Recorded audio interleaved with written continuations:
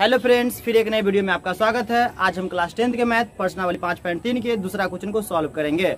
यदि आपने पहला क्वेश्चन का सॉल्व नहीं देखा है तो इस वीडियो के डिस्क्रिप्शन में उसका लिंक है, आप वहाँ से जाके देख सकते हैं। तो बच्चों, दूसरा का जो पहला सवाल है वो ये है, सात प्लस दस पूर्णांक एक बट्टा दो प्लस चौदह प्लस डॉट डॉट प्लस चौरासी।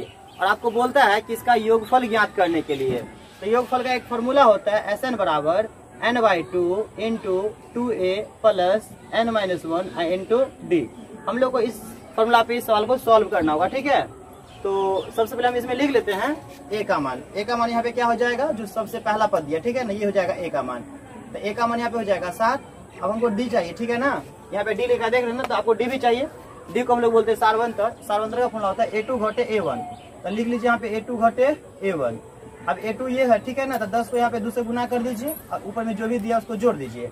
तो दस को दो से गुना कर देंगे तो बीस होगा, और बीस में हम लोग एक जोड़ देंगे तो बीस एक कितना हो जाएगा? इक्कीस। तो यहाँ पे लिख दीजिए इक्कीस बट्टा में दो है तो दो ऐसे ही रहेगा, माइनस। ए वन का मान यहाँ पे देखिए सात दिया है, यहाँ पे सात रख दीजिए, बट्टा में एक कर दीजिए।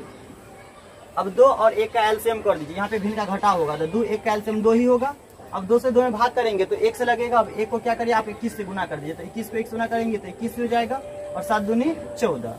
अब आपको क्या करना है? इक्कीस से चौदह को माइनस करना है। तो यहाँ पे बचेगा सात। तो आप सात लिख दीजिए और बट्टा के नीचे दो।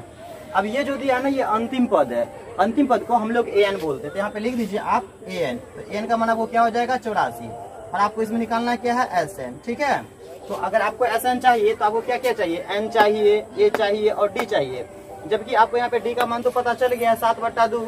ए का मान ही पता चल गया है, सात। जबकि आपको एन का मान पता नहीं है। तो एन का मान पता करने के लिए एक फॉर्मूला होता है ए एन का। इसका फॉर्मूला होता है ए एन बराबर A plus N minus one into D हम लोग इस फॉर्मूला पे लगा के एन का मान ज्ञात कर लेते हैं और जब एन का मान आ जाएगा तो इस फॉर्मूला लगा के हम इस सवाल को पूरी तरह से सॉल्व कर लेंगे। तो चलिए हम लोग पहले एन का फॉर्मूला निकाल लेते हैं। तो एक सूत्र होता है एन का। एन बराबर A plus N minus one into D ठीक है? अब एन का मान यहाँ पे दिया है, अंतिम कितना दिया? देखिए यहाँ पे चौरासी तो चौरासी रख दीजिए, बराबर का बराबर दे दिया। और ए का मान यहाँ पे सात है तो सात रख दीजिए प्लस। इनका मान आपको पता नहीं इनका मान लाना है तो आप एक काम करिए इनको ऐसे ही छोड़ दीजिए माइनस एक और डी है तो डी का मान यहाँ पे निकाले, आपने सात बट्टा दो। यहाँ पे रख दीजिए सात बट्टा दो। अब देखिए इनका मान कैसे निकलेगा तो चौरासी को आप ऐसे ही छोड़ दीजिए। प्लस में सात इसको चौरासी के पास लाइएगा तो बराबर के पीछे लाएँगे तो चिन्ह पलट जाएगा। प्लस में तो यहाँ पे आएगा तो माइनस में हो जाएगा।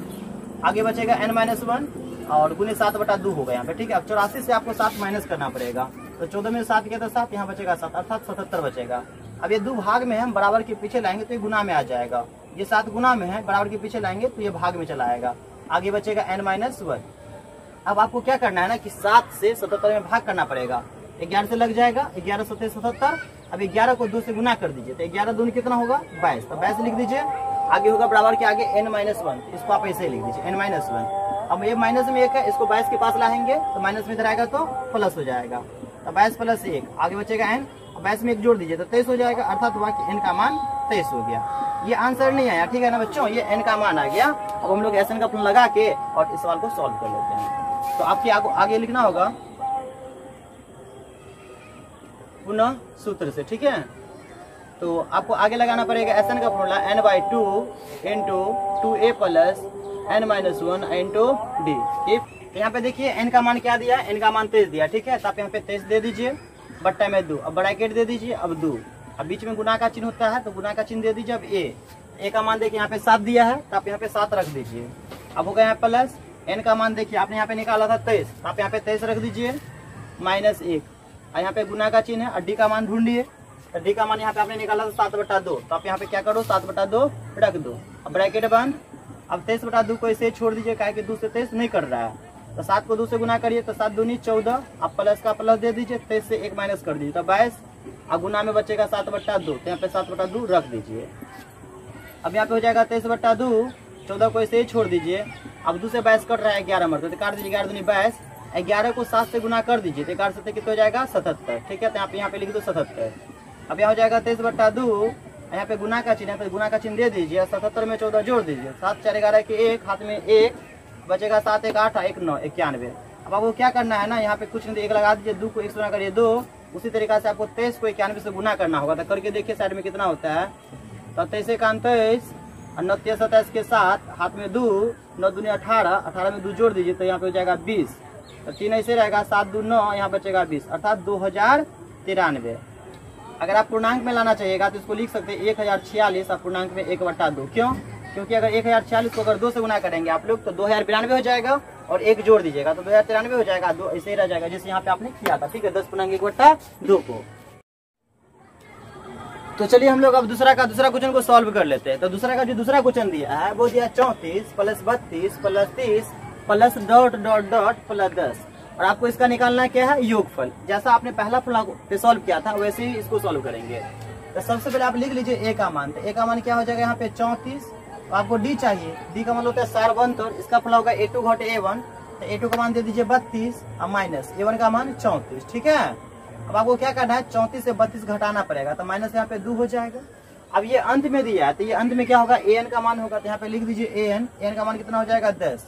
आपको निकालना क्या पड़ेगा? एस एन का फला, ठीक है? तो एस का जो फला निकालेंगे तो आपको फॉर्मूला होता है एस का N by two into two A plus N minus one N two D ये फॉर्मूला होता है ना? आपको यहाँ पे ए का मान तो पता चल गया, चौंतीस। आपको डी का मान भी पता चल जाएगा, यहाँ से माइनस दो। लेकिन एन का मान नहीं दिया है। अगर एन का मान नहीं दिया है तो आप इस सवाल को सॉल्व नहीं कर सकते हैं। तो एन का मान निकालने के लिए आपको ए एन का फॉर्मूला लगाना पड़ेगा। तो चलिए हम लोग ए एन का फॉर्मूला लगाते हैं और एन का मान निकाल लेते हैं। तो यहाँ पे लिख देते हैं सूत्र से तो एन का फॉर्मूला होगा बच्चों A plus N minus one N two D अब एन का मान यहाँ से दे दीजिए दस है तो दस दे दीजिए। ए का मान ढूंढिए तो ए का मान यहाँ पे चौंतीस चौंतीस दे दीजिए प्लस एन का मान लाना है, छोड़ दीजिए और डी का मान ढूंढिए तो डी का मान यहाँ पे माइनस में दो दिए तो यहाँ पे माइनस में दो दे दीजिए। अब क्या करिए, दस को ऐसे छोड़ देते चौंतीस प्लस में। अगर इधर लाएँगे तो माइनस में आ जाएगा। आगे बचेगा एन माइनस वन और एन टू माइनस में टू अब चौंतीस से दस माइनस करेंगे तो क्या होगा? यहाँ पे माइनस चौबीस, आगे बचेगा N minus one N two minus में टू इससे आगे इधर देख लीजिए आप लोग। अब माइनस चौबीस को हम क्या करें? ऐसे ही छोड़ दिए। ये दो गुना में कहा जाएगा? भाग में, ठीक है? अब आगे क्या बचेगा? एन माइनस वन तो इसको ऐसे ही छोड़ दीजिए। माइनस से माइनस कट जाएगा। दूसरे चौबीस में भाग करिएगा तो बारह मरतबे कट जाएगा, ठीक है ना? यहाँ बचेगा बारह। माइनस में इधर लाइए। बारह के पास तो प्लस में आ जाएगा। आगे बचेगा एन बारह में एक जोड़ दीजिए। तो कितना हो जाएगा? तेरह। अर्थात एन का मान क्या हो जाएगा बच्चों? तेरह। अब आपको निकालना क्या था? एस एन का फुंडा से ना? तो चलिए, अब हम लोग लगाएँगे एसएन का फुंडा, इस सवाल को सॉल्व कर लेंगे। तो लगाएँगे पुनः सूत्र से। एस एन का फुंडा क्या होता है बच्चों? N by two into two A plus N minus one N two D अब वैल्यू सेट कर दीजिए तो एन का मान यहाँ से दे दीजिए। तेरह बटा में दो इंटू दो। और दो, अब ए लिखा है तो ए का मान यहाँ पे चौंतीस दिया है तो आप यहाँ पे चौंतीस दे दीजिए प्लस एन का मान आपने यहाँ पे निकाला है अभी तेरह तो यहाँ पे तेरह रख दीजिए, माइनस में एक और टू और डी का मान कितना निकाले थे? तो यहाँ पे माइनस में दो दिया है तो यहाँ पे यहाँ पे माइनस में दो दे दीजिए, ठीक है? अब तेरह बटा दो ऐसे ही रहेगा, चौंतीस को दो से गुना करना पड़ेगा तो दो चौका आठ और तीन दूना छह मतलब अड़सठ हो जाएगा। तेरह से घटाइए तो बारह, यहाँ पे बचेगा गुना में माइनस दो, ठीक है? अब यहाँ पे तेरह बटा दो को ऐसे छोड़ दीजिए, अड़सठ ऐसे ही रहेगा, बारह दूनी चौबीस, प्लस माइनस माइनस में चौबीस हो जाएगा। अब क्या करिए तेरह बटा दो ऐसे ही रहेगा अड़सठ में से चौबीस घटाइए तो आठ में चार गया तो चार और छह में दो गया तो चार, चौवालीस। अब काट दीजिए। तो बाईस दूनी चौवालीस और तेरह को बैस से गुना कर दीजिए तो दो सौ छियासी यहाँ पे जाएगा, ठीक है ना? तेरह दूनी छब्बीस के छह, हाथ में दो, तेरह दूनी छब्बीस और दो अट्ठाईस। तो आपका यही आंसर हो गया। तो चलिए हम लोग अब दूसरा का तीसरा क्वेश्चन को सॉल्व कर लेते ठीक है? तो दूसरा का जो तीसरा क्वेश्चन दिया, वो दिया माइनस पाँच प्लस ब्रैकेट में माइनस आठ प्लस ब्रैकेट के अंदर माइनस ग्यारह प्लस डॉट डॉट डॉट और यहाँ पे दिया माइनस में दो सौ तीस। तो चलिए हम लोग इस ब्रैकेट को पहले सॉल्व करके हटा देते हैं। यहाँ पे माइनस पाँच लिख दीजिए। अब प्लस माइनस माइनस में हो जाएगा आठ प्लस माइनस माइनस में हो जाएगा ग्यारह plus dot dot dot plus minus minus यहाँ कितना हो जाएगा बच्चों? दो सौ तीस। यहाँ पे लिख दिया आपने दो सौ तीस, ठीक है? अब क्या करिए? सबसे पहले इसमें लिख दीजिए ए का मान। तो ए का मान क्या हो जाएगा? यहाँ से माइनस पाँच। आपको डी निकालना पड़ेगा। तो डी का फॉर्मूला ए टू घोटे ए वन तो ए टू का यहाँ पे दे दीजिए माइनस आठ है। और माइनस फॉर्मूला का ए वन में भी माइनस है। तो माइनस माइनस प्लस पाँच हो जाएगा, आठ से पाँच माइनस कर दीजिए। तो माइनस तीन अंत में दिया आपका ए एन का मान। कितना दिया? माइनस दो सौ तीस। यहाँ पे लिख दीजिए दो सौ तीस माइनस में, ठीक है? अब आपको चाहिए एस एन का मान।